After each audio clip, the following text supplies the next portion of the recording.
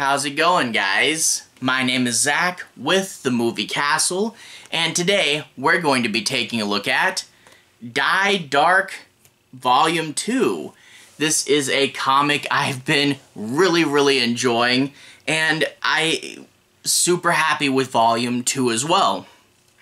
Dai Dark, you have Zaha Sanko, and he is wanted by the whole galaxy because if you get his bones, supposedly you get a wish. So he's a man on the run. His life support uh, pack is, for whatever reason, a robot, which is his one of his few friends. And when you're on the run and death surrounds you, literal Shimada Death, a Grim Reaper, is another one of your very, very few friends. At the end of the last issue, he got a spaceship, and in this issue, we'll get to go to Space Walmart. and it's way funner and way more thought out than you might think. And that is one thing I really do love with this book is the whole world feels very well thought out, but it doesn't feel exposition dumpy. It just feels natural in a way where I want to learn more. And even things like how does a space Walmart work is super, super interesting, but we also just get a bunch of chill moments with the characters just shopping. There are a few other things in here, and it does lead to a pretty strong finale. Um, yeah, a fun book. We get to see him upgrading his stuff. You know, they talk about manga getting adapted into anime, but I think this would be a really strong candidate to adapt into a video game instead. I really do like seeing Sanko slowly leveling up. He gets a ship, he furnishes the ship, he has to think how to spend his real world dollars and his bones, and it seems like he's finally got Shimada Death to join his party, and it's getting slowly bigger. And I do like him leveling up, him building up a life. I do like to see the way this thing progresses. And, you know, it's progressing and it's slowly going towards its overall goal. We're just now meeting the fourth person wanted by the evil empire type thing. And yeah, just now meeting the fourth character uh, barely in volume two, you know? So I really do like where this is going. I really can't wait to read the rest of it. But I just love this dark, messed up, horrific horror space. It's like Alien, but with the attitude of Adventure Time. And it's just so strangely dark and strangely chill at the same time. It's really, really cool. But anyway, if you guys want to see me talk more about this book, I'm going to switch to the close-up camera I'll show you guys a bit more of the story, a bit more of the arc, and try to talk about the different plots that go on in here. But again, no major spoilers. So without further ado, let's switch to the close-up camera. Alright, here we are inside the castle, taking a closer look at Dai Dark Volume 2. Let's bring this closer to the camera. We can see our three main characters riding the strange centipede-like cart, and I do like that this has a step-in image of Shimada Death kind of mirroring their pose, so a really cool transition into the book. There's the spine with Zaha Sanko on the side. I really do like they're going to keep changing this character out over the coming volume, so you have a nice lineup of your leads. There's the plot synopsis, some of the holes from the Marutech, 13.99 US, rated 15 plus. And then if we flip it open, I really do like they have a cast of characters and a previously on. Eh, this really helps you learn all the characters' names, and if it's been a while since you read the last one, they have a catch up, which is super cool, and it's printed in color. Anyway, the table of contents, we see that this collects bones 7 all the way through bone 12, but also features a bonus bone which is great. And I also like it when we talk about bonus features in this book, it once again has a crossword puzzle where if you're paying attention to the comic, you can answer some questions about it and unlock a secret word. That's cool. this book also preserves some color pages. Sometimes in manga you see these grayed out when you get a special color page, but here they preserve them, which is super cool, and I definitely like that. And between some of the chapters, you'll see bonus special sketches, like here's one of Masante Box, and then the next page is going to be a diagram and breakdown of all the items inside her box it's some cool stuff. So I do appreciate all the bonuses and, and cool things like that. Anyway, after that, we're going to get into the story proper. I'm not going to be doing any major spoilers, but I do want to talk about some of the plot points and show you guys some of the art. But I'll try to avoid significant spoilers. But we open up inside their spaceship.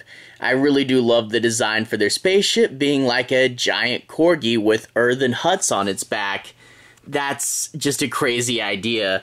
But we see that uh, Senko and Avakian are asleep on the floor, and it turns out they have the ship, but they don't have any furniture. So the robot, Moha, which is the same name as the ship because he essentially is the ship, will say, let's go to essentially Space Walmart or the Marutech station number 44. And I really do love just how unnecessarily well thought out this place is.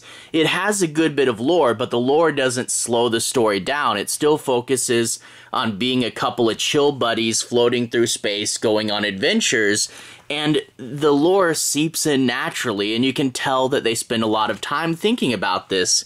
The shopping carts look like centipedes, which is super weird, and their inside is like all these holes and those are the different departments and you tell it which one you want to go to, it's going to start climbing on the walls.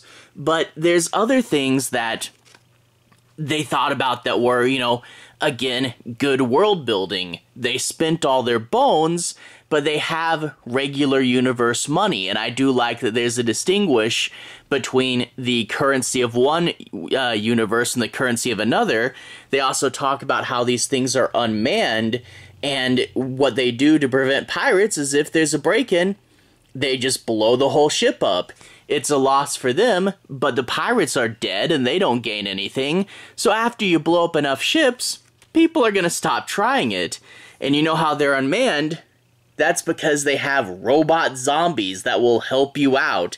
You take a corpse, you stick a computer in its brain, and that's all you need, and it'll run for like 50 years or so. So I do love just how much they've thought out and planned, and then just casual, chill shopping. It's just so fun and bizarre to go to Space Walmart. But anyway, there's their pile of stuff. The crew is in like this big Costco looking uh, restaurant, and Senko's going to get this idea wait, these zombies only last for 50 years. They must have a trash bin, and this world doesn't use bones as currency, but my other world does. I should raid their trash. And that's when Shimada shows up and says, That's a great idea. And if things go wrong, which they very well could because a ship is always on the edge of blowing up. So it does lead into this tense heist moment with a very interesting thing how this uh, this arc plays out and learning more about how this place works, and it has, of course, a dark, dark secret. But we do get a little bit checking in with this new character. Again, he has a mysterious power. You don't know what it is, but he's going to a planet where everyone's doctors. It's a big hospital wide planet, and yeah, he needs to see a doctor.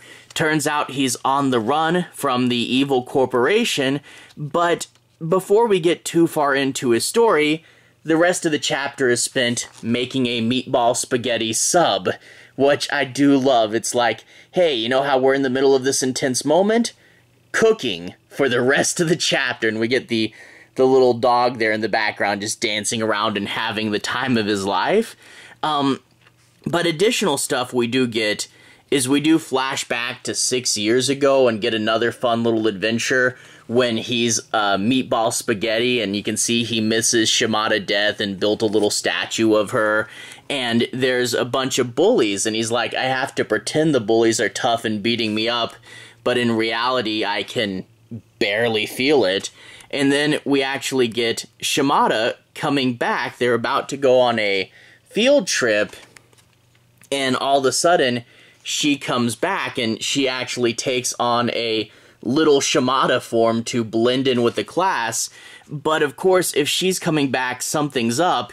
And does it have something to do with this big junk ship and abandoned spaceship we saw floating by? Hmm, maybe. It's not the biggest adventure, but it is fun to check in with, you know, young, uh, young Senko again.